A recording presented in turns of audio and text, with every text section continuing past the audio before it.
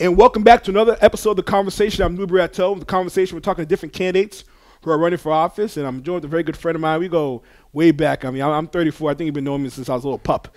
Way back. Yeah. we're joined with um, City Councilor for Ward 1, Tom Minichiello. Um, Tom, first and foremost, thank you for coming on the podcast. Thank you for having me. It's, it's nice of you to do this for everybody. Listen, you know, it, it's public service is not for the weak, and what you guys are doing is is, um, is honorable. It, it, really is. So, uh, you know, I, I, commend all you guys.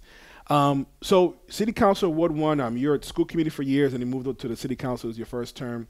For people who don't know Tom Minichiello, who is Tom, um, and and kind of talk about your platform. Sure. I'm I grew up here in the city of Brockton. Um, I grew up on the east side of Brockton. Went to East. It was East Junior High at the time. Graduated Brockton High School '83. Uh, went to BU, then went to Vermont Law, uh, came back. Um, well, always lived in Brockton. Basically, it was my residence. You know, when I was in school, I lived at school, but you know, Brockton was my residence, mm-hmm. and it is my residence. Um, I, um, you know, joined the school committee uh, 14 years ago, and then ran for city council two years ago. So, 16 years of public service, uh, looking to be elected if the voters want me the voters will let you know whether they want you or not. Right, right. Um, uh, but you know, I've tried to do a good job with the schools uh, for 14 years. I was vice chair for 10 years, um, and um, we had an interesting time. We had budgets that were very uh, challenging. Let's put it that way. And we, um, you know, tried to prioritize kids and activities for kids to make sure the kids had what they needed, but also make sure that there was there were activities for the kids. You know, a lot of the kids um, to get them to go to school. They need, you know, band, they need athletics, they need, you know, the arts. That's the carrot that gets the kids to school. Right. So as a city councilor, I want to make sure that we're properly funded um, so that the, the, schools have what they need. And, um, you know, right now, you know, we're in a challenging time with the schools, obviously. Um, as a city councilor, I, um, you know, my constituency is now broader than representing just parents and students. Mm-hmm. It's it's you know parents and students, but of people that don't have kids in school, and also you know people that care about other issues. Um, you said, "What's my platform?" Well, my platform is basically responsible government. Um, it's providing services for the people. Um, you know, people in Brockton want what every, everyone else wants. They want clean streets. They want they want um, safe streets. They want opportunity. They want good schools. They want um, property values to remain up. They also want affordable housing. Um, so it's, it's across the gamut. They want services to be provided to them. They, they don't want to be, um, they don't want to be um, feeling like they're putting you, you're putting them out. You're putting government out by doing what they're supposed to do. Government's supposed to answer to the people. Government is supposed to respond to the people. Government is supposed to get the job done. And, and that's what I'm all about, making sure that government is accountable, making sure that we have enough resources. With the city council, we're in charge of the uh, checks and balances of the money. So, you know, we need to make sure that the money is being spent on what it's supposed to be spent for and um, making sure that the people are provided with the services they need. You know, people in Brockton, they don't want to walk down the street and see weeds growing up down the street, you know, through the streets. They don't want to see people living under bridges with mattresses and defecating and urinating. It, it gives a bad image to Brockton. Um, when I was growing up and when you were growing up, Brockton was a powerhouse. We were a powerhouse of athletics, education, facilities. I mean, when I went to Brockton High, it had everything. You know, we had a planetarium. No one had a planetarium. We had a pool. No one had a pool. We had a, a skating rink on site. No, we had the first turf uh, football, football, field. field. Yep. You know, and now we need to make sure that Brockton has what it needs. Um, you know, Brockton's always been a, a, um, a, community of immigrants. It's just a matter of where people are coming from. Um, and, you know, things change. People need to realize that things change. And, you know, for instance, soccer, right? We have so many cultures that come to Brockton that love soccer. Okay, there's nothing wrong with that. So we, we need to adapt. You know, we need to adapt. We need to. I'm working. you said like, what's an accomplishment? Well, here's a big accomplishment. I'm working to renovate the Ash Street playground with the mayor. And um, you know, there's a, a little league baseball field there. It doesn't get a heck of a lot of use. So what am I doing? I'm working with the Parks Department and Tim Carpenter to have that a multi-use field, to have it be used for soccer as well as you know, softball or baseball, because it's not being used. I mean, people in that park love that park, and we're going to improve it. We're going to clean it up. We're getting new equipment for the kids. You know, it's it's rusty. It needs to be redone. We're um, putting in some fencing. We're putting in um, some uh, playground equipment for disabled children. There's a lot of disabled children in, in the city, and you know, certainly in my ward, but you know, for everybody. So that playground is going to look really nice, and, and that's a really big accomplish- accomplishment. That should be done in the spring. So I'm- really proud that that's going to be something that the people and the kids are going to going to like, and adults are going to like it too because there's going to be equipment for exercise equipment for adults, sort of like gymnastic equipment that they can Right. really, you know, do um, calisthenics and push-ups and pull-ups and all sorts of stuff. Tom, what, what's what's uh, uh, a, a pressing issue that you're seeing in Ward One that you kind of want to, um, you know, help, help tackle for the next up, upcoming uh, two years? And I do want to get your opinion. I, I know it's kind of in Ward Three, kind of it's Ward Three, Two, and One, the, the Brockton Fairgrounds. We'll see Ward Well, Three. I that's that's the big issue. yeah. The development of the fairgrounds because So let's talk about the development. Do you, do you agree with with, with um, purchasing the, the, the fairgrounds and, and putting uh, different businesses in there? What are your thoughts on that?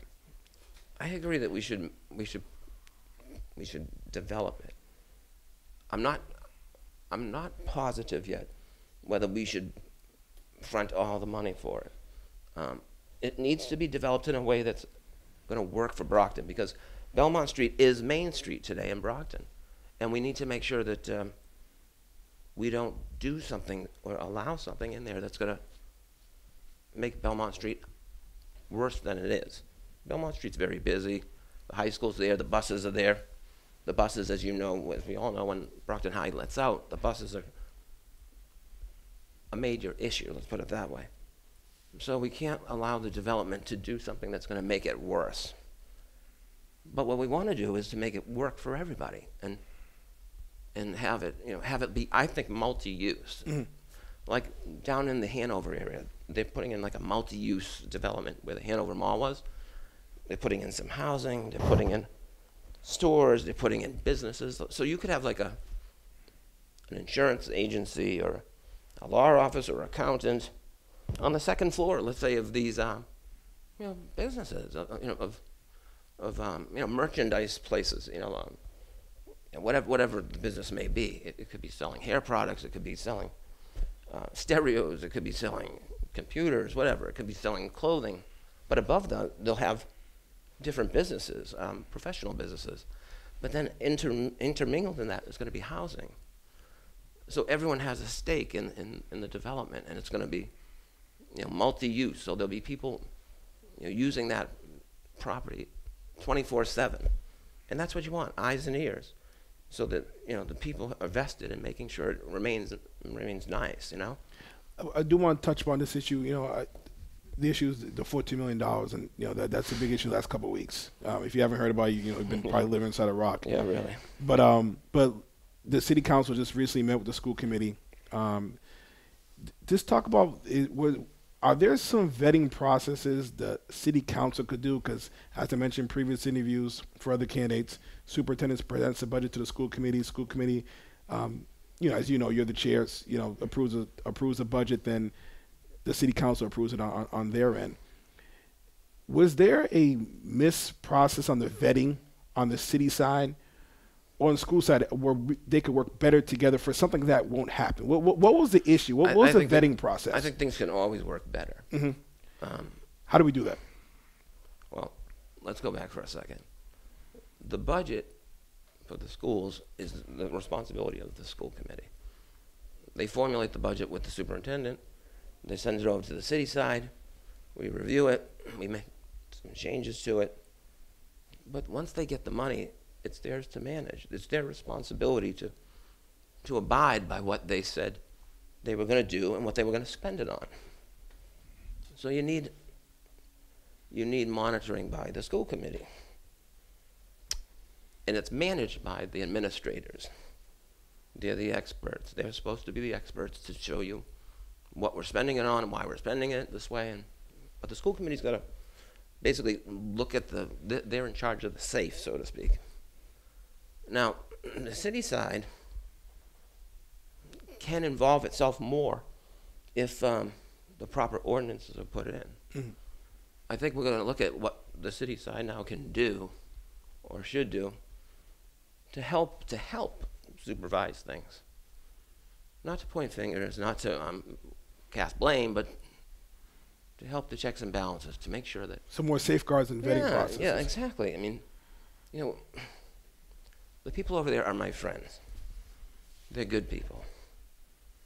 You know, we need to work together to make sure to see what happened, how it happened, what we can do to make things better, and you know, we're all willing to do that. You know, to have people, you know, criticizing each other and throwing people under the bus, it's not going to accomplish anything. And that's not who Brockton is. But basically, Brockton is we get it done, we work together. And that's what that's how I, I've, always, I've always looked at it, and that's how I'm going to look at it. When the voters go to the ballot box on November 7th, hmm why Tom Minichiello? Why should they give you a shot of reelection? Well, I'm, I'm a guy that's a Brocktonian. I never left. I am. I love this city. You know, a lot of my friends have left. A lot of friends of yours have left. Um, I enjoy the I enjoy the differences between people. I get bored with the same old thing. Mhm. So um, it's like um, it's a great place. It's it's in Brockton. You know, we nothing's perfect, but I think we people get along here. I think people got along when I was a kid, and I think that people want to get along now. I think people really enjoy, you know, the differences amongst people, and people are people. You know, um, if you're a jerk, it doesn't matter who you are or what you are. You're a jerk. If you're a nice person, it doesn't matter where you come from. You're a nice person. You know, I mean. So that's what I like about Brockton. People judge you on your way you treat people, the way you behave. And uh, I think that Brockton is a place that I love. I love the location of Brockton. I mean, come on. Boston's 25 minutes away, the Cape's 25 minutes away. Worcester, I mean, Providence.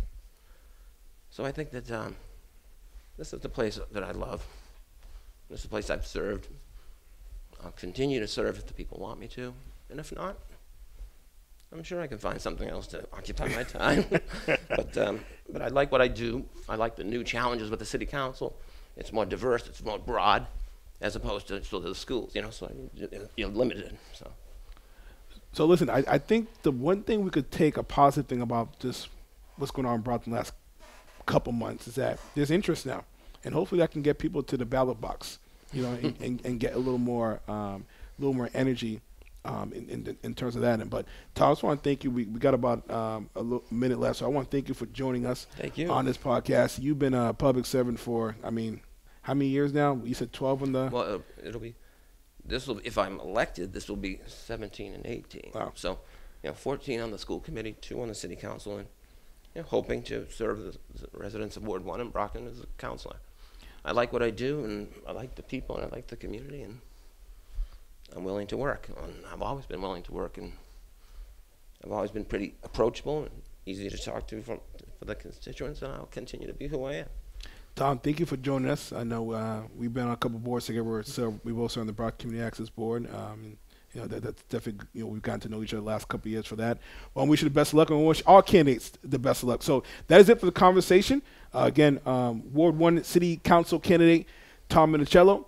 Um, want to just encourage everyone who is uh, listening right now, um, continue to subscribe to our YouTube page, subscribe to our podcast, um, like us on Facebook, Noube Productions, and also if you're interested in um, supporting our next documentary, please go out to our website, and uh, you you're more than willing to uh, click on that donate button and support our, our next documentary. Um, we would more than appreciate that. Well, that is it for the conversation. We'll be back with more candidates after this.